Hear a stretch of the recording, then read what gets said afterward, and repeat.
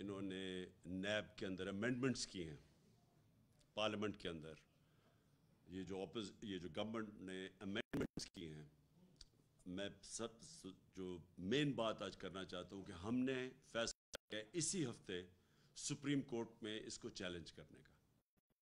लेकिन मैं सबसे पहले, क्योंकि मैं अपनी सारी कौम के सामने जो बात रखना चाहता हूँ वो ये, कि जब 26 साल पहले मैंने पाकिस्तान के अंदर ये इंसाफ की तहरीक चलाई थी। तो 26 साल पहले मैंने कौम को एक चीज़ बताई थी कि जिस कौम के अंदर करप्शन हो, वो तरक्की नहीं कर सकती। जो करप्शन है, ये है क्या? जिस कौम के अंदर इंसाफ ना हो, यानी कि कानून की हुक्मरानी ना हो, वो करप्शन उसके सिम्टम्स होते हैं। यानी अगर मुझे कैंसर हुई हुई है तो जो फोड़ा निकलता है, वो कैंसर का सिम्टम है। तो जो करप्शन है वो जब इंसाफ नहीं होता माशरे में तो ये उसकी फिर एक बीमारी नज़र आती है। तो 26 साल पहले ये जब इंसाफ की तहरीक चलाई थी तो मैं सारा वक्त एक चीज़ कहता रहा हूँ कि अगर इस मुल्क ने तरक्की करना है इस मुल्क में कानून की हुक्मरानी आएगी। कानून की हुक, अच्छा कानून की हुक्मरानी और इंसाफ का क्या मतलब है? इंसाफ का मतलब है कि सब इंसान कानून के सामने एक बराबर। यानी कोई इंसान कानून के ऊपर नहीं है। और कानून कानून का मतलब ये जो, वो भी मैं वाजे कर दूँ कि हमारे नबी सल्लल्लाहु अलैहि वसल्लम ने तकरीबन 1500 साल पहले आज से जो बात कही थी, वो बार बार मैं अपनी कौम को बताना चाहता हूँ कि तुम्हारे से पहले बड़ी कौमें तबाह हुई, जिधर ताकतवर के लिए एक कानून और उसको आप उसको आप अगर वो जुर्म करे, अगर चोरी करे तो उसको सजा ना दो और जो छोटा कमज़ोर चोर हो, उसी को जेलों में डालो। यानी जिधर जिस मुल्क में एक तबका कानून से ऊपर हो, कानून निचले गरीब कमज़ोरों के लिए हो, लेकिन ताकतवर के लिए अगर अगर वो कानून से ऊपर हो तो वो मुल्क तबाह हो जाते हैं, बनाना रिपब्लिक्स बन जाते हैं। वो मुल्क, उनका कोई मुस्तकबिल नहीं होता। अगर आज एक कौम अमीर है तो वो इसलिए नहीं कि वहाँ वसाइल ज़्यादा है। और अगर आप कौम में गुर्बत ज़्यादा है तो वो इसलिए नहीं कि वसाइल की कमी है। कमी एक ही चीज़ की है, इंसाफ की। जिस मुल्क के अंदर इंसाफ नहीं है, यानी ताकतवर कानून के नीचे नहीं है, वो मुल्क कभी भी तरक्की नहीं कर सकता। तो मैं ये जो 26 साल की मेरी सारी स्ट्रगल है वो मैं एक ही चीज़ लेके फिरा हूँ कि जब तक पाकिस्तान के अंदर ये जो बड़े बड़े इस मुल्क के मुजरम हैं, जब तक हम इनको कानून के नीचे नहीं लेके आते, ये पाकिस्तान आगे नहीं बढ़ सकता। अल्लाह ने हर किस्म की इस मुल्क को नेमत बख्शी है। लेकिन हम, हमारे, हम वहाँ नहीं पहुँचे जिधर हमें बहुत पहले पहुँच जाना चाहिए था और उसकी वजह ये, यही है। अब ये जो हुआ है असम्बली के अंदर, ये एक मैं मैं अब इसको किस तरह आपको बताऊँ कि ये एक मुल्क से कब मज़ाक उड़ाया गया है। ये मुल्क की तोहन हुई है। ये जिन लोगों ने ये बेशर्मी से ये जो पास किए हैं, ये नैब की अमेंडमेंट्स इनको बेशर्मी की वजह से जेल में डालना चाहिए कि इतने कोई बेशर्म नहीं हो सकता कि इस तरह की अमेंडमेंट्स करें। देखिए, मैं आपको सबका, ज़रा बताऊँ कि इस मुल्क से कितना मज़ाक बनाया गया। हमारी कौम की कितनी तोहन हुई है। पहले तो कानून एक चीज़ कहता है कि आप और जो हम सुप्रीम कोर्ट में गए और इन हमें उम्मीद है कि हमारी जो हमारी जो अदालतें हैं, वो इसके ऊपर पूरा नोटिस लेंगी। क्योंकि ये, अगर ये चीज़ें इसकी इजाज़त मिल जाती है, अगर सुप्रीम कोर्ट, क्योंकि असम्बली में तो हमें पता है कि ये सारे जो इम्पोर्टेड हुकूमत है ये आए इस मकसद के लिए थे। इसमें तो अब कोई शक नहीं होना चाहिए कि जब खुरम दस्तगीर इनका मिनिस्टर कहता है तो हम इसलिए नहीं आए थे कि महँगाई है। हम इसलिए नहीं आए थे कि यहाँ कोई नाहली है।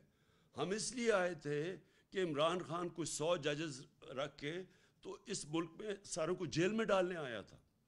मतलब ये कि यहाँ की अदालतें आज़ाद नहीं हैं, क्योंकि यहाँ की तो पाकिस्तान की अदालतें तो आप सब जानते हैं आज़ाद हैं। तो इमरान खान ने कैसे जेल में डालना था? सिर्फ़ करप्शन के केसेस ही तेज़ प्रोसेस करने थे। तो उन्होंने कहा कि ये शबाज शरीफ जैसे लोगों ने जेल में होना था।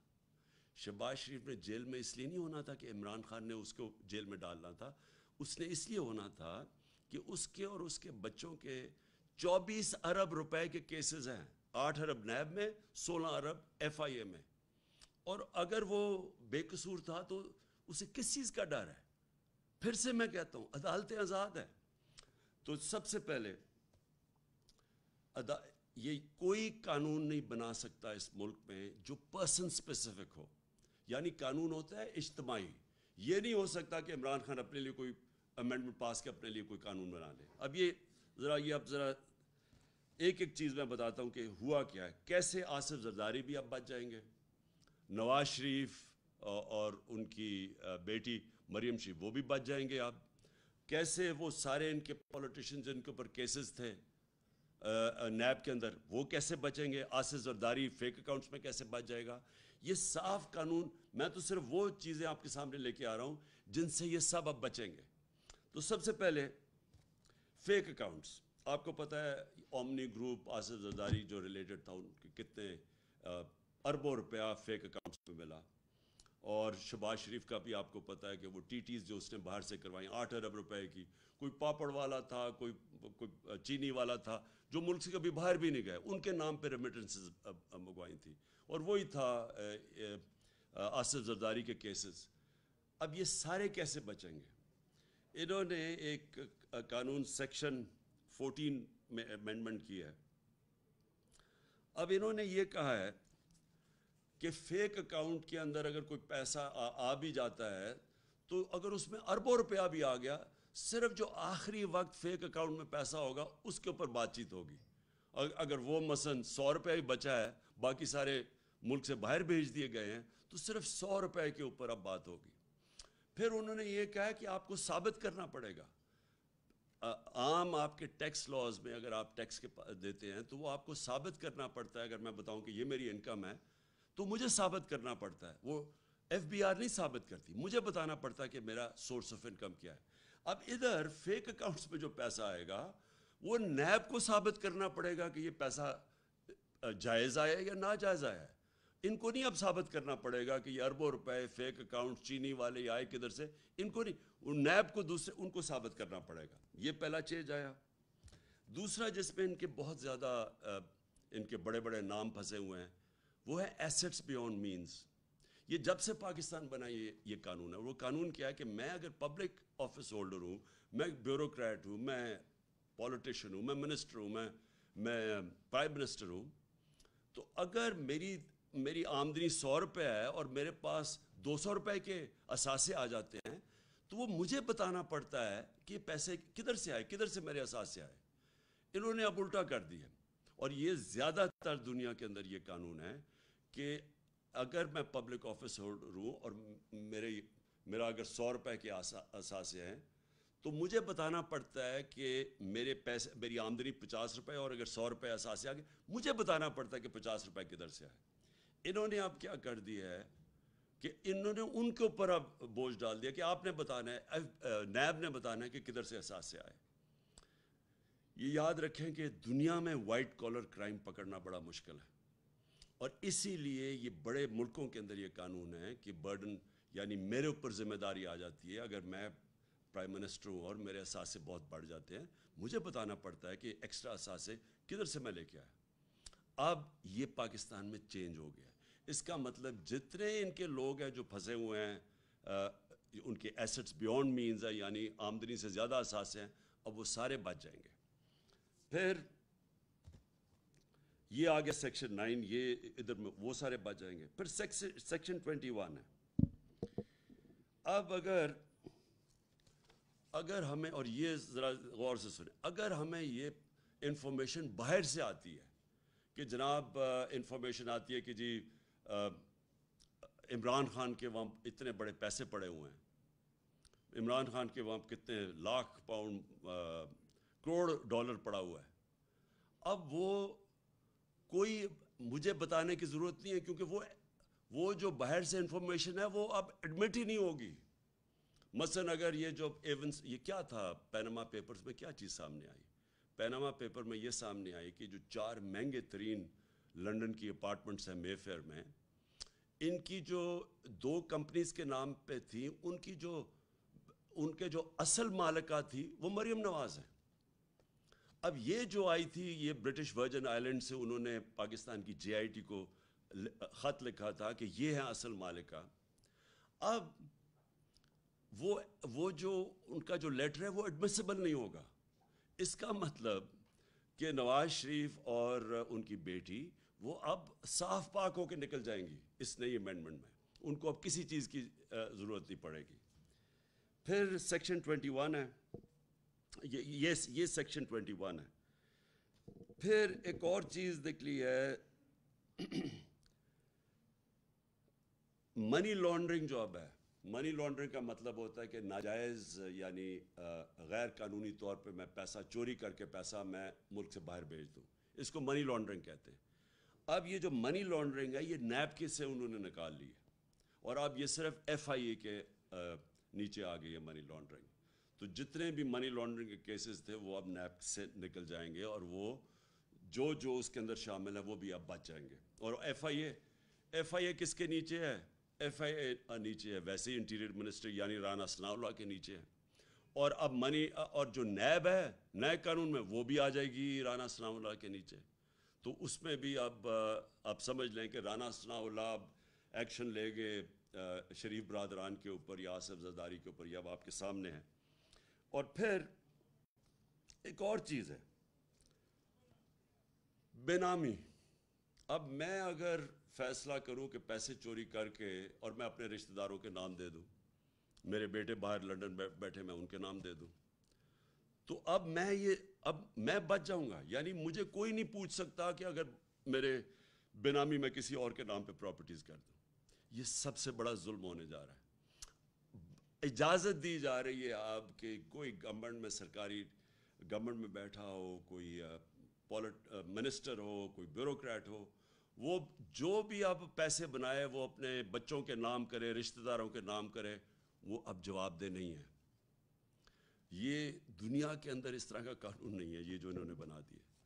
कहने का मेरा मकसद ये है कि ये पाकिस्तान से अगर खुदा ना खास्ता मुल्क के ऊपर कोई बम्बारी भी कोई कर देना तो उससे भी बड़ा ये जुर्म हुआ है। ये सिर्फ़ ये ही नहीं कि ये सिर्फ़ सब बच जाएँगे, इनकी चोरी अब सारी बच जाएगी। और ये जो खुरम दस्तगीर ने, जो फिर से मैं कह रहा हूँ, उसने यही कहा कि ये सारों को डर लगा हुआ था कि Imran Khan N R O नहीं दे रहा। साढ़े तीन साल इन्होंने मुझे मुसलसल ब्लैकमेल किया। आपको पता है हर जगह इन्होंने हर मौके पे इन्होंने मुझे ब्लैकमेल किया कि इनको एनआरओ दिए। ऊपर से कहते थे कि हम एन हम कोई एनआरओ नहीं मांग रहे। लेकिन जब फैटफ की लेजिस्लेशन आई जो आज ये सारे बड़े उसकी आ, आ, कह रहे हैं कि हमने बड़ा अच्छा कोई काम कर दिया है फैटफ की लेजिस्लेशन के ऊपर इन्होंने हमारे हम, हमें पूरी कोशिश की एन लेने की। इस तरह की अमेंडमेंट्स लेके आए। जब हमने नहीं किया तो इन्होंने पूरी कोशिश की हमें ब्लैकमेल करने की कि वो लेजिस्लेशन नहीं पास होगी। उसके बाद इन्होंने वॉकआउट किया असेंबली से, जबकि हमने, मैं इनकी बात नहीं माना एनआरओ की। अब अब जो इनको ये सारी जो एन आर ओ मिल गया एन आर ओ टू ये एन आर ओ टू सिर्फ़ अब इनकी चोरी ख़त्म नहीं होगी। यानी इनकी सारी, सारा अब पहले जनरल मुशरफ ने एन आर ओ वन दिया था। उसमें याद रखें, हुदायबा पेपर मिल का केस था। वो पीपल्स पार्टी की गवर्नमेंट ने बनाया था नवाज़ शरीफ के ऊपर। उसके ऊपर इसाक डार की कन्फेशनल स्टेटमेंट थी। सारे उसके ऊपर पता था कि किधर किधर इन्होंने मनी लॉन्ड्रिंग करके पैसे पहले तो भेजे, वहाँ वो काजी फैमिली उसके ऊपर बीबीसी की फ़िल्म बनी कि कैसे चोरी का पैसा पहले वहाँ भेजा, फिर उधर से वापस रेमिटेंसेस दिखाई और फिर इनकी शरीफ फैमिली के ख़ानदान में वो पैसा गया। वो ओपन एंड शर्ट केस था। जनरल मुशरफ ने उसका एन दिया पहले। और नवाज़ शरीफ को बाहर जाने दिया। उसके बाद दूसरा एन मिला आसिफ जरदारी को। और ये याद करा दूँ कि तब भी अमेरिका का हाथ था। कॉन्डालीजा राइस, जो सेक्रेटरी ऑफ़ स्टेट थी, उन्होंने अपनी किताब में लिखा हुआ है कि कैसे उन्होंने जनरल मुशरफ और बेनज़ीर को इकट्ठा किया और कैसे फिर ये नेगोशिएशन में एनआरओ मिला। इनके करप्शन केसेस ख़त्म हुए। उन करप्शन केसेस के अंदर 60 मिलियन डॉलर पड़ा था स्विट्ज़रलैंड में। वो पाकिस्तान केस जीत चुका था। वो वो फिर पाकिस्तान पीछे हटा, वो 60 बिलियन डॉलर हजम किए गए आसिफ जरदारी ने, और फिर पाकिस्तान का जो तब एम्बेसडर था, वो वो स्विट्ज़रलैंड गया और उसने सारे वो जो सबूत थे, वो सारे अपनी गाड़ी में डाल के लेके जा रहा, वो सबने देखा। वो एन में इनके पैसे बचे। सरे महल जो इन्होंने असेंबली के फ्लोर में जरदारी ने कहा था कि हमारा सरे महल नहीं है। वो सरे महल के ऊपर जब पाकिस्तानी गवर्नमेंट ने केस किया, वो पाकिस्तानी गवर्नमेंट केस जीती। ये बल्कि लड़े ही नहीं केस क्योंकि इन्होंने तो कहा हुआ था, हमारा है नहीं। चोरी का पैसा था। वो वो बिका वो पाकिस्तान को पैसा आना था, पाकिस्तान की आवाम को। वो एनआरओ के अंदर वो भी पैसा इन्होंने रख लिया और वो हजम हो गया। ये तो सिर्फ़ वो थे जो पकड़े गए हैं। जो बाकी इनकी दौलत जो इनके बाहर मुल्कों में पड़ी हुई है, उसका तो कोई हिसाब नहीं है। क्योंकि वाइट कॉलर क्राइम पकड़ना आसान काम नहीं है, ख़ास तौर पे हमारे जैसे मुल्कों में। ये सारी डेवलपिंग वर्ल्ड का प्रॉब्लम है, जो इस वक्त मुल्क गरीब हैं, उनका सबसे बड़ा मसला ये है कि उनका जो इंसाफ का निज़ाम है, वो पकड़ ही नहीं सकता। ये जो जो बड़े बड़े चोर, जो वाइट कॉलर अच्छे वकील जिनके पास हैं, जिनके पास तरीके हैं बाहर भिजवाने के ऑफशोर अकाउंट्स में जो पैसे भेज देते हैं, जो ये जो एवंस फ़ील्ड ये जो मेयर में इनके फ्लैट्स हैं, ये ऑफशोर कंपनी से ख़रीदे हुए हैं, जो दो कंपनीज़ हैं तो उनके ऊपर मरियम नवाज़ का नाम आया था। ये इसके लिए हमारे जैसे मुल्कों के पास वो इंफ्रास्ट्रक्चर ही नहीं है कि हम इसको वापस ले सकें। और जो अमीर मुल्क हैं, वो भी पूरी कोशिश करते हैं कि ये पैसे वापस ना आए हमारे जैसे मुल्कों में, क्योंकि उनको फ़ायदा हो रहा है। यहाँ से जब पैसा उनके मुल्क में जाता है तो उनको तो फ़ायदा हो रहा है, उनके मुल्क में पैसा आ रहा है। लेकिन जो डेवलपिंग वर्ल्ड में मुल्क हैं, वो सारे आज वो नुकसान उनको होता है कि जब ये ताकतवर चोरी करता है। मैं फिर से ये कहता हूँ, हमारे नबी सल्लल्लाहु अलैहि वसल्लम ने 1500 साल पहले ये बात कर दी थी कि जब आप ताकतवर डाकुओं को नहीं पकड़ सकते और सिर्फ़ कमज़ोरों को पकड़ते हैं तो कमज़ोर कितनी चोरी करता है? वो भैंस चोरी जिसने करनी है, मोटरसाइकिल चोरी करनी है, कोई गाड़ी चले चोरी कर ली, वो कितना पैसा चोरी कर लेगा? तो वो तो पैसा यही रखेगा। जब लेकिन अरबों रुपया जब आप चोरी करते हैं, ये जो सोलह अरब रुपया सिर्फ़, ये तो पकड़ा गया एफ़ आई ए का सिर्फ़ शहबाज शरीफ का। और ये जो इनका टोटल, आपको पता है कि इससे 1100 अरब रुपया अब ये हजम हो जाएगा इन इन सब के ये जो अमेंडमेंट्स पास किए हैं, इस मुल्क का 1100 अरब रुपया चोरी का जो आना था वापस, वो अब ये सारों के, ये फिर खा जाएँगे। जिस तरह एन आर ओ वन में खाया था। तो ये आप ये याद रखें कि ये जो पैसा जब ये चोरी करते हैं, सोलह अरब या चौब, शरीफ ख़ानदान का पैंतालीस अरब रुपया टोटल ये जो पैसा है, ये इनको बाहर भेजना पड़ता है क्योंकि पाकिस्तान में रखेंगे तो ये नज़र आ जाएगा। लिहाजा चोरी करना पहला नुकसान, चोरी करके डॉलर हवाला हुंडी से डॉलर लेके पैसा बाहर भेजना, ये दूसरा नुकसान। उसका इफ़ेक्ट पड़ता है हमारी करेंसी के ऊपर, हमारे डॉलर रिजर्व्स पे। फिर जैसे जैसे आप, अगर आप ज़्यादा पैसा बाहर भेजते हैं, जो कि गरीब मुल्क या जी जो डेवलपिंग वर्ल्ड है, ये बाहर जब भेजते हैं, इनके जो बड़े बड़े डाकू हैं, वो जब बाहर भेजते हैं पैसा तो वो उनकी करेंसी पे फ़र्क पड़ता है। तो जब रुपया आपका गिरता है, हर चीज़ महँगी हो जाती है। तो इस चोरी से गुर्बत फैलती है। इसलिए इसलिए जब तक हम बड़े बड़े चोरों को नहीं पकड़ेंगे, इन लोगों को इतसाब नहीं करेंगे यहाँ चोरी तो रुकनी लगी। अब जो इन्होंने अमेंडमेंट पास किए, ये नहीं कि सिर्फ़ ये बच जाएँगे। अब जो भी ताकतवर लोग पाकिस्तान में मनी लॉन्ड्रिंग करेंगे, जो पैसे चोरी करेंगे, ये सब अब बच जाएँगे इससे। तो ये जो नुकसान पहुँचाने लगा पाकिस्तान को, मैं हदीस इसलिए बार बार बताता हूँ कि उन्होंने 1500 साल पहले कह दिया था कि वो कौमें तबाह हो जाती हैं। वो कौम कभी भी ऊपर नहीं आ सकती, जिधर बड़े डाकों को आपने इस तरह की इम्यूनिटी दे दी और इस तरह का एन दे दिया। तो मैं आखिर में अपनी सारी कौम को कहना चाहता हूँ कि देखें, ये है जहाद। हम तो लड़ेंगे पूरी तरह। मैं तो 26 साल इनके ख़िलाफ़, इनके खड़ा रहा हूँ। मैंने साढ़े तीन साल हर किस्म का मेरे पे प्रेशर डाला गया कि इनको एन दे दो। हर किस्म का मुझे बर्दाश्त करना पड़ा। ब्लैकमेल हुआ मैं। लेकिन मैंने तो नहीं दिया। अब इन्होंने आके वापस ये साजिश के तहत अब वाज हो जाए कि इनका वापस आना कोई इस मुल्क के अंदर महँगाई का, कम करना नहीं था। महँगाई मार्च जो हो रहे थे तीन धरने दिए इन्होंने कि जी बड़ी महँगाई हो गई बड़ी फ़िक्र थी इनको। तो महँगाई का इनका अगर थोड़ा सा भी इनको तकलीफ़ होती लोगों की महँगाई की तो ये आके सारे महँगाई के रिकॉर्ड पाकिस्तान की तारीख में कभी ऐसी महँगाई नहीं हुई जो इन्होंने आके की है। कभी इतनी बेदर्दी से मुल्क की चीज़ें महँगी नहीं की गई जो इन्होंने आके की है। तो इनको महँगाई का तो इशू ही नहीं था।